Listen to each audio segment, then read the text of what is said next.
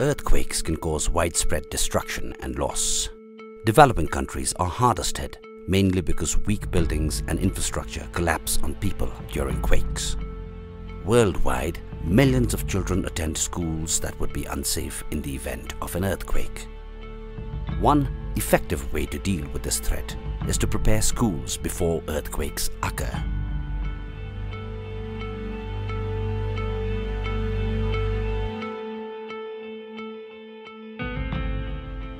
Located in the Himalayas, Bhutan is in a high-risk seismic zone and is no stranger to earthquakes. The two moderate earthquakes of 2009 and 2011 resulted in damages to more than 150 schools in Bhutan. Moderate earthquake events experienced by Bhutan and the recent magnitude 7.9 Nepal earthquake are indicative of what would happen in terms of death, injury and destruction of property should a large earthquake occur with its epicenter located within or close to the country. The best way to protect school kids during earthquakes is to build safe schools. Unfortunately, many of Bhutan's schools, particularly the oldest ones, were not built to resist earthquakes. Walls and ceilings will collapse. Bhutan is planning to build safe schools, but this is going to take money and time and an earthquake can happen any day. A strong desk, which we call an earthquake desk, can offer protection for kids right away. Schools are among the most vulnerable, and Bhutan's Ministry of Education has been trying to make schools safer. Geohazards International, GHI, has been collaborating with the ministry and most recently introduced the unique Earthquake Desk with the plan to teach Bhutanese furniture manufacturers to make the desks locally. The Earthquake Desk was invented by Ido Bruno and Arthur Brutter of the Bezalel Academy in Jerusalem, Israel. One of the pictures really caught my eye was a classroom collapsed totally on the children and they were all crushed under the desks.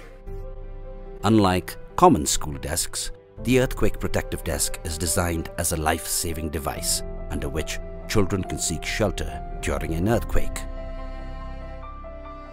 Ido and Arthur traveled to Bhutan in January 2016 to train five local furniture manufacturing firms in a week-long program facilitated by the Ministry of Education and Geohazards International with support from AIR Worldwide, a Verisk Analytics company.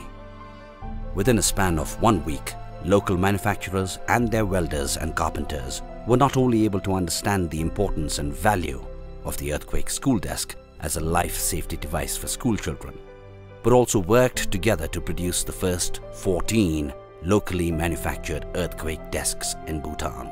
And hopefully there will be found the, the right budget for this because these tables, of course, they're not only tables, they're also safety equipment. So they, they cost more than a standard table, but they also give you more than a standard table. The week-long training ended with impact tests carried out in the presence of representatives from the Ministry of Education, schools, armed forces and local media. The excited crowd witnessed firsthand how a standard school desk crumbled to pieces under a 356 kilogram load. While in the second test, the locally manufactured earthquake desk withstood a far greater load of 422 kilograms.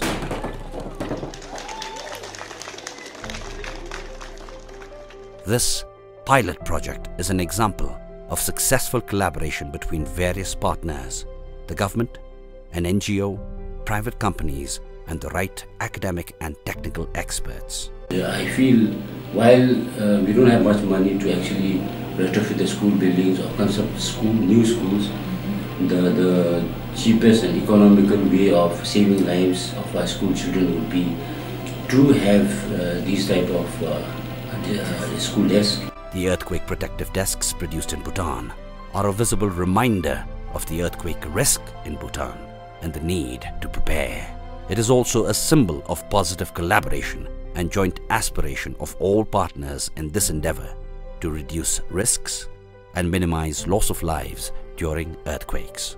Maybe in, I think, three years' time, four years' time, we really be, uh, we, we could be really proud and say that uh, we remember that time so many years ago when we made the first earthquake table uh, in Bhutan. Remember that time? Look, now every school has them. Uh, they're all over the place. Uh, Bhutan's children are protected.